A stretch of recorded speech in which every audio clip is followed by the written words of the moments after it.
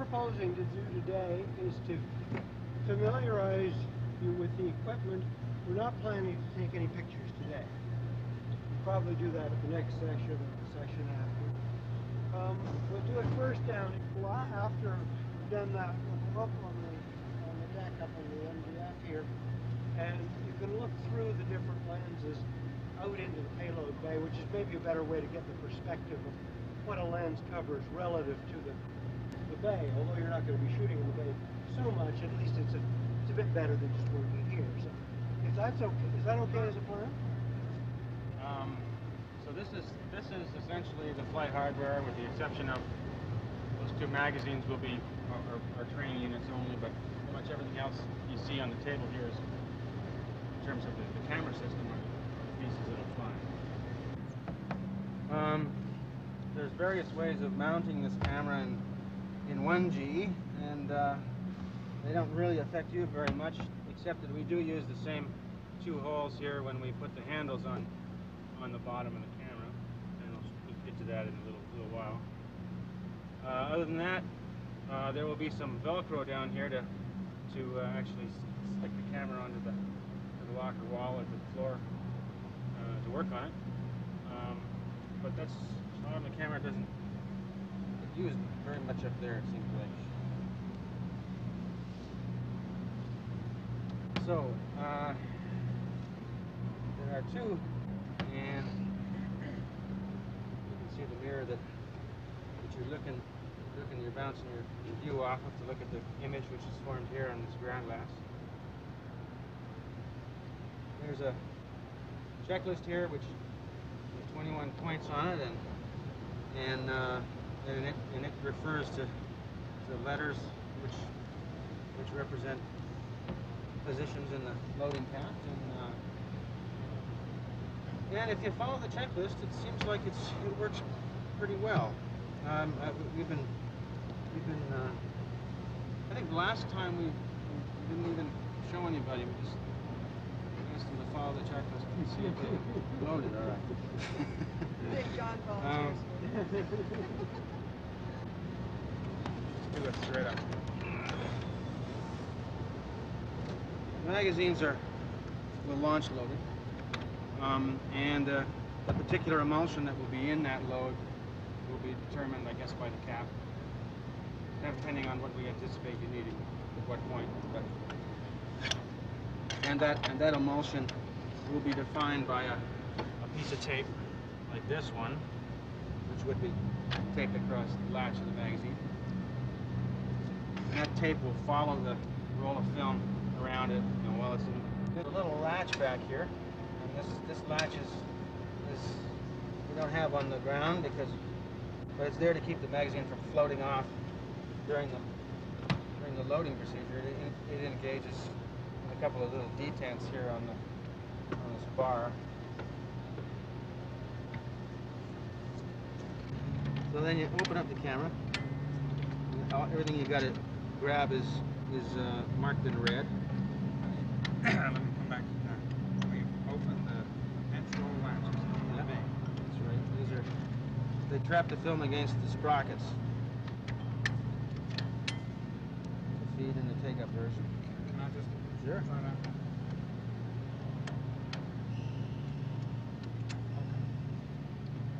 There's a registration pin assembly here, and we can get access to that edge guide by by lifting up this top half of it and swinging it out the way. Then it goes straight across the back.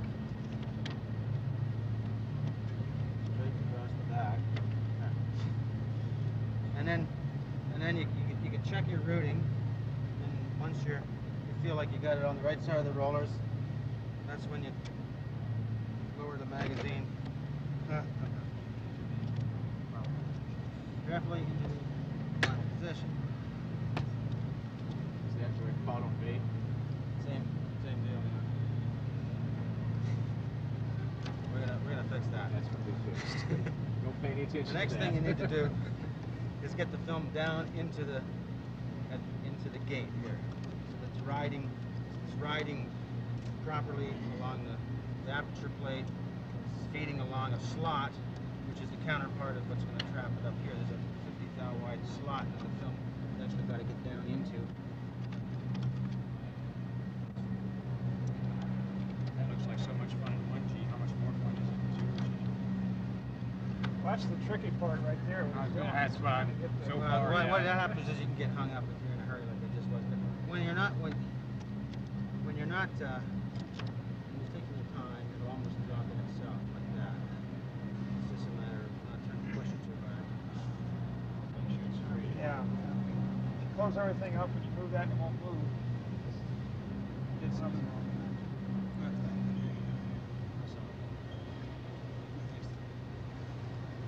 So, you got it in there, I like the way it feels. So, so you can put in the pressure plate.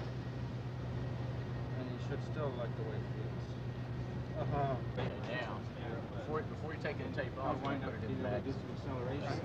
So, There's a saw at the end of it. know where that is. Fine is. enough, so you know which way the stuff is coming off. attention to the inside is right. Okay, so it comes off that way, which is clockwise. So now I want to put it on. I, I, we want to put it on this one. Just like that. Here's, here's a diagram. Yeah. So so it's coming off like that.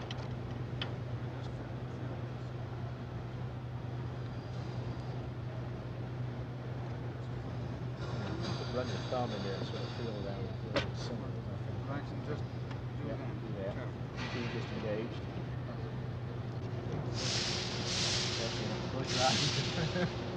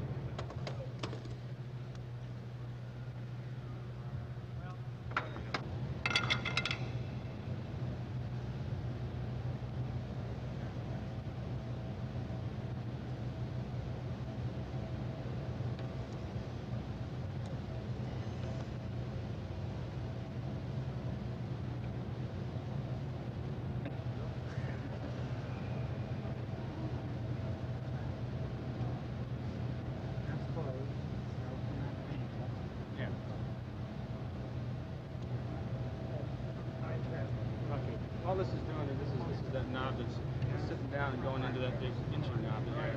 And it doesn't doesn't engage till you push it way down. So you gotta hold it down and and turn it in order to and what it's doing is it's is it's pulling the whole movement over. Only now what we're concerned about is the shutter.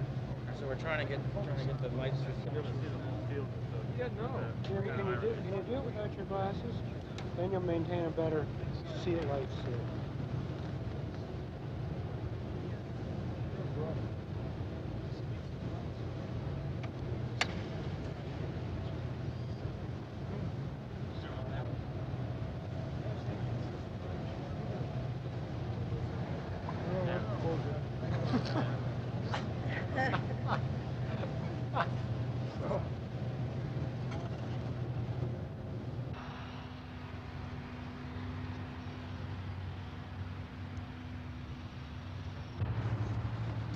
It doesn't mean it can Howdy, howdy.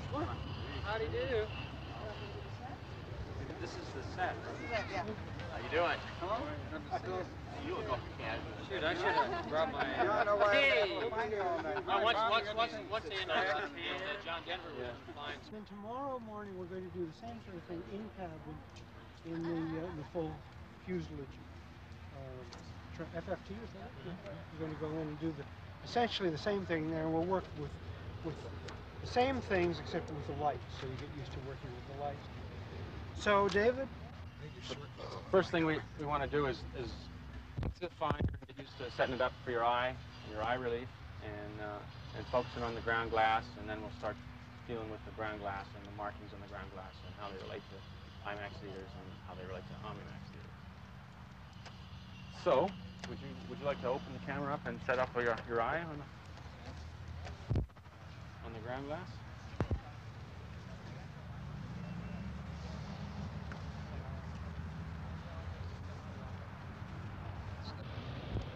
And then lock it up. You want to do that for us as well? Sure.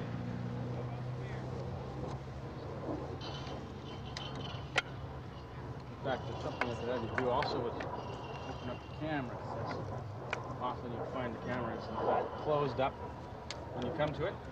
Why don't you close it and let them open it, David? Because you, you need to get a feel for how that button is. Uh, Okay, you want to stop? When you say open the camera. Well, the, the shutter of the camera is apt to stop. It, it- there's, there's no stopping position for it, so Gotcha. it's likely to be closed as open. Okay. So that All right. Okay. Um, the ground glass. Um, uh, okay, across the, across horizontally across the frame, there are there are two dashed lines. One that arcs downwards and comes up to about a, it starts at a third of the way up and it arcs down, comes up again, and there's one that's sort of straight across at that position. And those, what those are there for is to, for you to understand where where the the people are in the theater and how they're they're seeing the screen. They're they're essentially they were originally put in as kind of horizon lines. They don't, they're not always used as horizon lines, but they but they give you the, the relationship for for the audience's natural horizon in relation to the screen itself. So that and the straight one is, is for the rectilinear theaters, for the IMAX theaters. It's it crosses in that in that area are more or less directly in front of the audience. They're, they're or in front of the, the majority of the audience. And the same is true for the for the arcing line in the Omni the dome theaters. Uh, and it's it's much lower down because the dome frame, of course, extends right up over your head and behind you.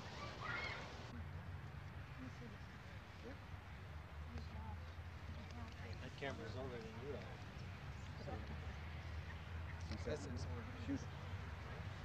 his Shoot, John.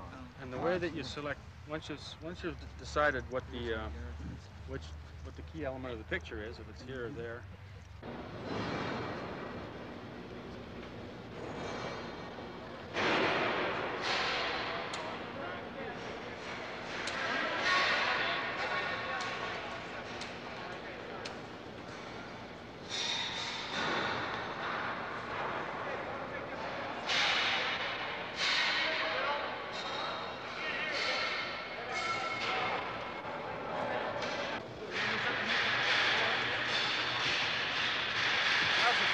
The 14th look? Yeah, either way, fine. Just tell me now. 14th? And I'll get into sort of 14th. That's a Friday. Friday. Yeah, Friday. That's fine. That's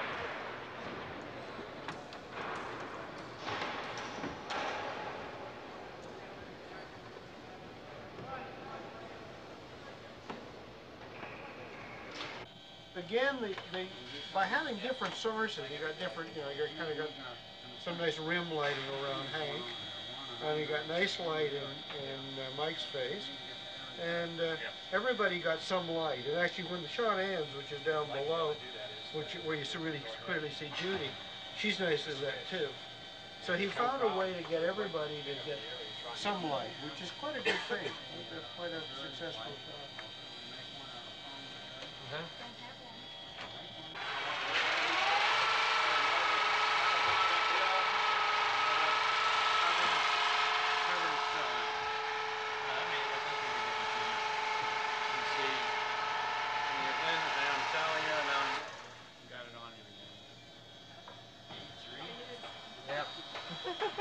Seems like a lot longer. How much, how much you want us to run through on this? About 150 or? Yeah, well done. Because I only went 83 on that. Let me run some more. Okay. You Well, or you light can, or you what, try. What I'd like you to do. uh, Change the lighting then and do something a bit different.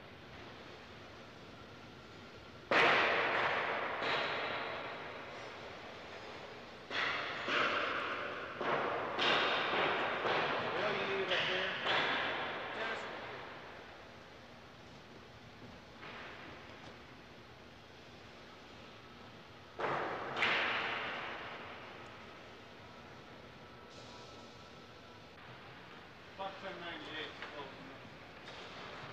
You got, you got, you got a tick mark over him.